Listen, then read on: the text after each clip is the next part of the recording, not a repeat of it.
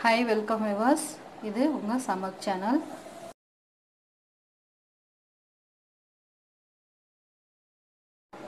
இன்றைக்கி நான் உங்களுக்கு மட்டன் பிரியாணி எப்படி செய்யலான்னு சொல்லித்தரேன்.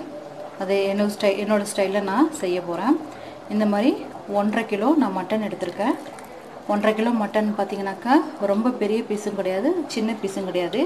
மீடியம் பீஸ் மாதிரி நான் போட்டு வச்சுருக்கேங்க ஒன்றரை கிலோ. இதுக்கு வந்து ஒன்றரை கிலோ அரிசி எடுத்திருக்கேன்.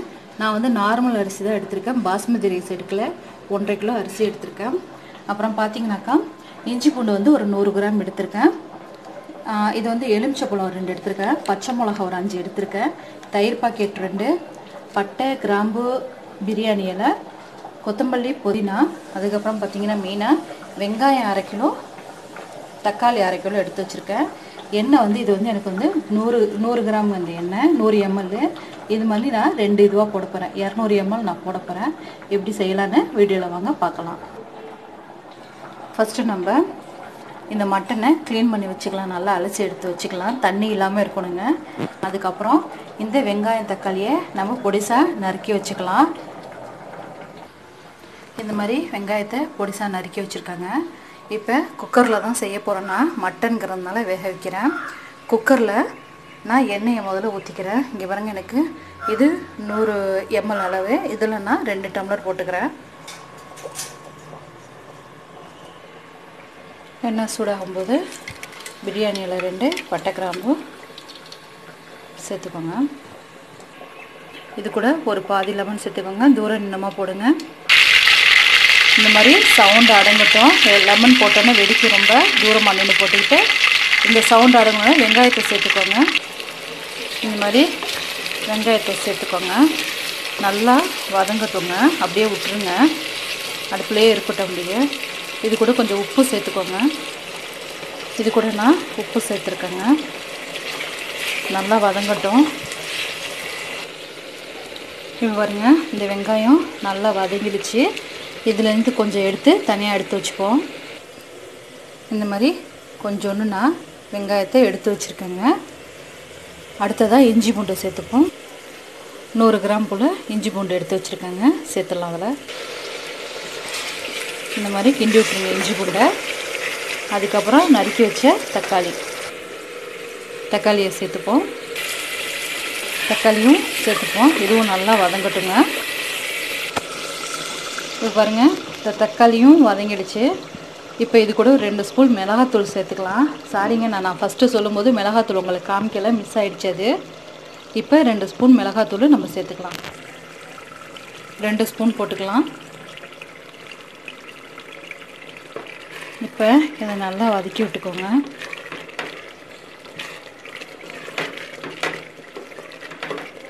இது வதக்கணுன்னு மட்டன் இதில் சேர்த்துக்கோங்க. மட்டன் சேர்க்கும்போது தண்ணி இல்லாமல் பார்த்துக்கோங்க. நல்லா வடித்து வச்சுக்கோங்க. இந்த மாதிரி மட்டனை சேர்த்துக்கோங்க. சேர்த்துட்டு நல்லா அதையும் மிக்ஸ் பண்ணிக்கோங்க. இந்த மட்டன் போடும்போதே பச்சை மிளகா அஞ்சு சேர்க்குறேங்க. இந்த பச்சை மிளகாவையும் சேர்த்து வதக்கிக்கோங்க இதுக்கப்புறம் தயிர் சேர்த்துடலாம். நான் இன்றைக்கி ரெண்டு பாக்கெட் தயிர் சேர்க்குறேன். நான் பாக்கெட் தயிர் தாங்க சேர்க்குறேன். நீங்கள் கெட்டி தயிர் வேணாலும் சேர்த்துக்கலாம் இப்போ இது கூடவே நம்ம அந்த ரெண்டு லெமனில் பாதி லெமனை புழிஞ்சிட்டோம். இன்னும் அந்த ஒன்றரை லெமன் இருக்குது அது இதில் சேர்த்துக்கலாம். ஒன்றரை லெமனு.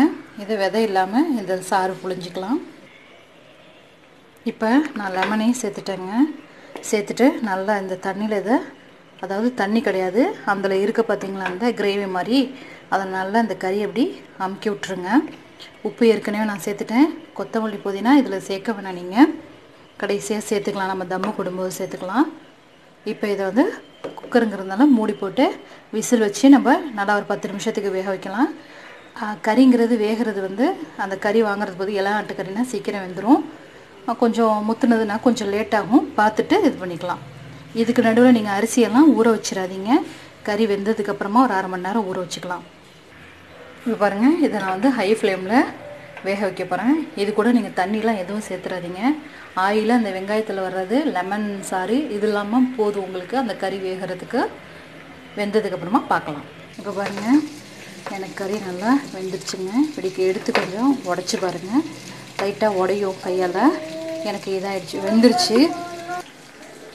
இப்போ பாருங்க நான் உலை வச்சுருக்கேன். உலை வச்சுட்டு அரிசியை தண்ணியை ஊற வச்சுட்டேன். இந்த மாதிரி அரை மணி நேரம் ஊறட்டும் கொஞ்சம் தண்ணி. அரிசி. இது பாருங்க உலை கொதிச்சிருச்சு. இது அரிசியை நான் அலசி வச்சுருக்கேன். இதை அதில் போட்டுடலாம் சேர்த்துடலாம். அதுக்கு முன்னாடி அந்த எலுமிச்சப்பழம் நம்ம புளிஞ்சோம்ல இது உப்பு இது சேர்த்துடலாம் நம்ம. இது பாருங்கள் அதாவது லெமன் ஒரு நாலஞ்சு சொட்டு இருந்தால் போதும். அரிசி தனித்தனியாக இருக்கிறதுக்காக தான். இது கூட உப்பு சேர்த்துக்கோங்க. தேவையான அளவு உப்பு சேர்த்துட்டு இதை அரிசியை சேர்த்துப்போம். இப்போ பாருங்கள் இந்த அரிசியை சேர்த்துருக்கேன். இது கொஞ்சம் வேகட்டும். அதாவது பாதி அளவு வெந்தால் போதும்.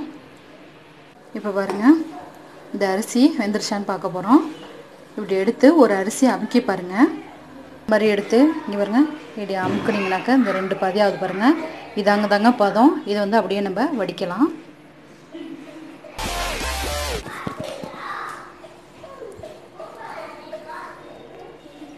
நான் இப்போ வடிக்கிறதுக்கு இந்த சட்டி எடுத்து வச்சுருக்கேன். நான் ஈவனாக தான் வடிக்க போகிறேன் தனித்தனியாக வடிச்சிங்கன்னா ஒரு அரிசி வெந்திருக்கும் ஒரு அரிசி வேகாமல் இருக்கும். அதாவது ரொம்ப வெந்துடும் அதனால் ஈவனாக வடித்து எடுத்துக்கோங்க. இப்போ பாருங்கள் நான் இந்த மாதிரி இதை வடித்து எடுத்துக்கிட்டேன். அதே சட்டியில் அந்த கிரேவி இருக்குல்ல அதை நம்ம எடுத்து கொட்டிப்போம். கொஞ்சம் கொஞ்சமாக அதாவது ரெண்டு லேயர் தான் நான் வைக்க போகிறேன் இப்போ. கொஞ்சம் கொஞ்சமாக இது பண்ணிப்போம். அந்த கிரேவி வந்து சூடாக இருக்கான்னு பாருங்கள் சூடு இல்லைன்னா லைட்டாக சூடு பண்ணிக்கோங்க. அப்படியாட்டி அரிசி வெற விரைச்சி போயிடும் அப்படியே. இப்போ பாருங்கள் நான் பாதி கிரேவி தான் போட்டிருக்கேன் அதில் இதுக்கு மேலே நம்ம அரிசி போட்டுப்போம். இந்த மாதிரி பாதி அரிசி தான் போட்டிருக்கேன். இதை போட்டுட்டு இதுக்கு மேலே நம்ம வெங்காயம் வச்சோம்ல அது கொத்தமல்லி புதினா சேர்த்துப்போம். இப்போ பாருங்கள் இது ஃபஸ்ட்டு லேயர் எனக்கு.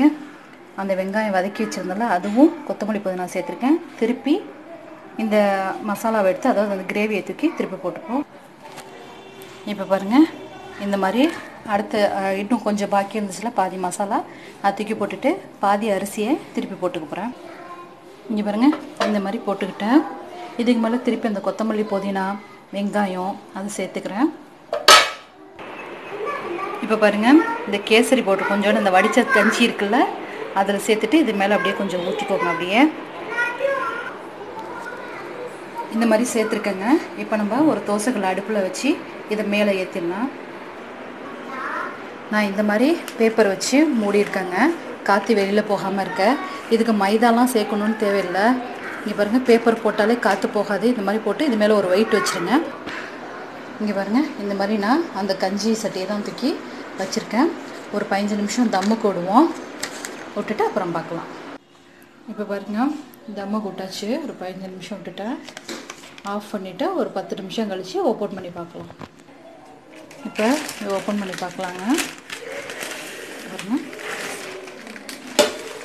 எவ்வளோ சூப்பராக வந்திருக்கு பாருங்கள் இது எப்படி பண்ணணும்னாக்க கரண்டியை ஒரு பக்கமாக எடுத்து பிரட்டி விடணும். இங்கே பாருங்கள் இந்த மாதிரி கீழேருந்து எடுத்து இப்படி எடுத்து பிரட்டி விடுங்க. அதாவது ரவுண்டாக வரணும் அப்படியே. இங்கே பாருங்க இந்த மாதிரி. இந்த மாதிரி ஃபுல்லாக ரவுண்டாக எடுத்து எடுத்து பிரட்டி விடுங்க. அவ்வளோதாங்க பிரியாணி. செஞ்சு பாருங்கள் அவ்வளோதாங்க பிரியாணி. ரெடி ஆகிடுச்சு மட்டன் பிரியாணி. இதை நீங்கள் குக்கரில் செய்யணும்னு நினச்சிங்கனாக்கா அந்த கிரேவி செஞ்சிங்கள அந்த கிரேவியோட ஒரு டம்ளருக்கு ஒன்றரை டம்ளர் தண்ணி வீதமாக வச்சு நீங்கள் குக்கரில் ஒரு அஞ்சு விசில் விட்டு செஞ்சுக்கலாங்க. இங்கே பாருங்கள் அவ்வளோதான் செஞ்சு பாருங்கள் இதை. இதில் நெய் வேணும்னாலும் கொஞ்சம் ஊற்றிக்கலாம் மேலே. நான் நெய் சேர்க்கல இதில்.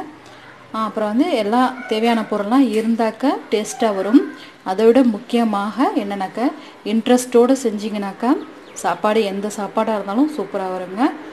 இது செஞ்சு பார்த்துட்டு சாப்பிட்டு பார்த்துட்டு கமெண்ட் பாக்ஸில் கமெண்ட் போடுங்க கமெண்ட்ஸ் போடுங்க எப்படி இருந்துச்சுன்னு லைக் போடுங்க ஷேர் பண்ணுங்கள் இப்போ தான் ஃபஸ்ட் டைம் பார்க்குறதா இருந்தாக்கா சப்ஸ்கிரைப் பண்ணுங்கங்க. மட்டன் பிரியாணி எப்படி இருக்குன்னு சொல்லுங்கள் தேங்க்யூ விவர்ஸ்